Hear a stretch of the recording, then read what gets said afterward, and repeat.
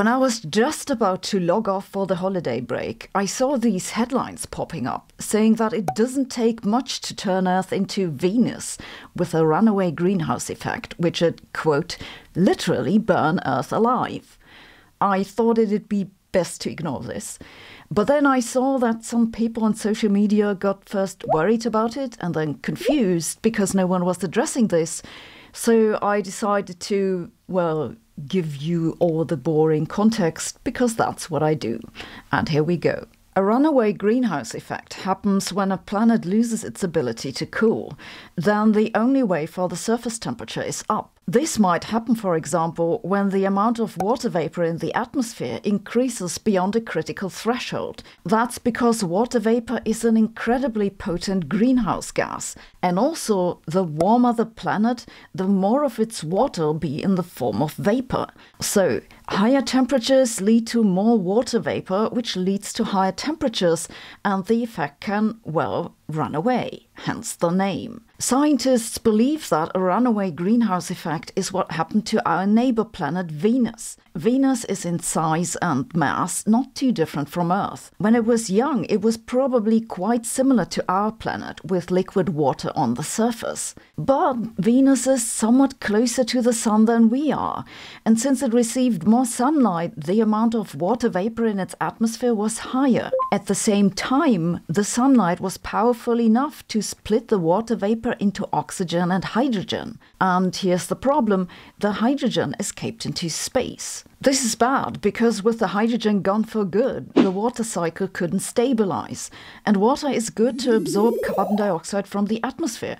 So, as the hydrogen fraction decreased, the carbon dioxide in the atmosphere steadily built up, covering Venus in a thick blanket that retained heat very well. Today, the atmosphere of Venus is mostly carbon dioxide. The water is all gone, the atmospheric pressure is about 90 times that of Earth, and the surface temperature is roughly 370 degrees Celsius. If you've sometimes dreamed of plucking chickens out of the air fully roasted, then moving to Venus might be the right thing for you, though you'd have to take your chickens with a side of sulfur.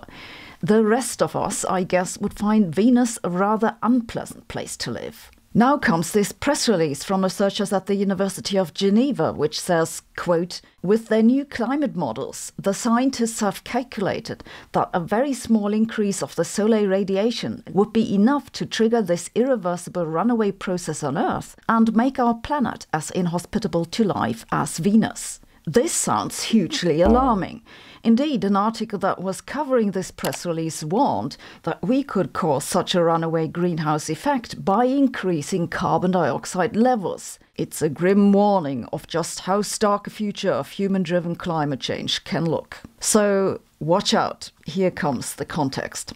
First, let's have a look at solar irradiation. That's the radiation from the sun that reaches the surface of Earth. It's basically a measure for the energy we get from the sun. It fluctuates naturally and goes somewhat up and down during the solar cycle. These fluctuations do have an influence on the temperature on Earth of typically a few tenths of a degree. That's noticeable and accounted for in the IPCC projections, but it's smaller than the effect from human caused increase of carbon dioxide levels. Though the brightness of our sun very slowly increases as it gets older, and that'll eventually cause a runaway greenhouse effect on Earth too. According to estimates, we've got one or two billion years. So Elon's got some time left to get us off this planet.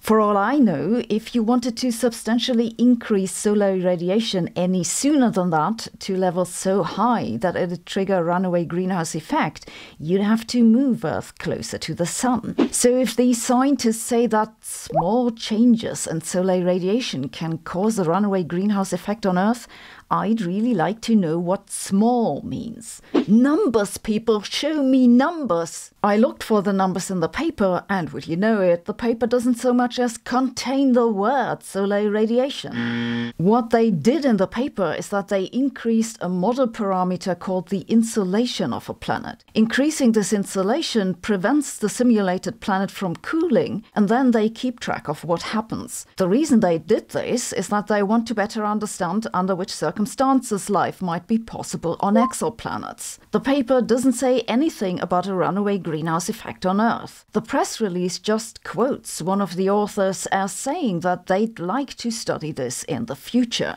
What do we know about the risk of a runaway greenhouse effect on Earth? Well, we do know that the past of our planet has had phases that were both hotter and had much higher atmospheric carbon dioxide levels than we have today. Not only this, but it was sometimes also higher than what we're likely to reach even if we keep on happily burning fossil fuels. This shouldn't be all that surprising because the carbon in those fossil fuels mostly came from the atmosphere in the first place. And since no runaway greenhouse effect happened back then, it seems unlikely we'll trigger one now. It also hasn't happened in any climate models, most of which are much more sophisticated than the one the guys in the new paper used. The problem with climate change is really not the temperature or the carbon dioxide level per se, it's the rapid change. We and the rest of the biosphere must adapt to the changing climate within a matter of decades. That puts a lot of stress on our economies and brings the risk of a strong economic downturn. It's bad enough as it is without having to make people afraid of a runaway greenhouse effect.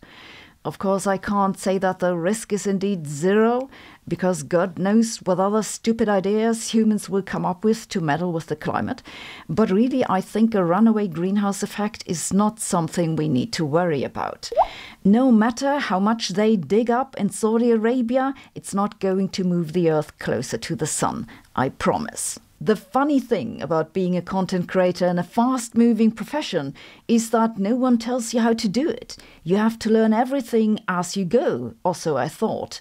But I've now found a community where I can find the knowledge that I'm looking for. It's called Skillshare, and they've really made a difference in my life. Skillshare is the largest online community for and by creators, with thousands of classes covering everything from film and design in particular to freelancing and productivity in general. Learning on Skillshare has made my work life so much easier. It's also made it less stressful because I know I have a place where I can find advice. There's so much content on Skillshare, it can be somewhat overwhelming at first. Wow, so much to learn, where to even start? But Skillshare helps you out with specially chosen learning paths. They help you to gradually build your knowledge from beginner to expert, like this one on freelancing. How do you negotiate prices? How do you organize your work?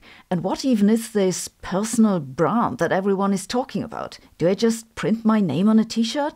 Probably not. I learned so much from these classes, and honestly, I just wish I'd done it sooner. I'm so much better prepared now for the next round of negotiations. I have a feeling that 2024 is going to be the year in which my career starts making sense, and Skillshare is going to get me there. If your career needs a boost too, have a look at Skillshare because there isn't any place like it. And what better time is there to put your life in order than a brand new year? The first 500 people to use our link will get a one month free trial of Skillshare, so go and check it out and get a head start on 2024. Thanks for watching. See you tomorrow.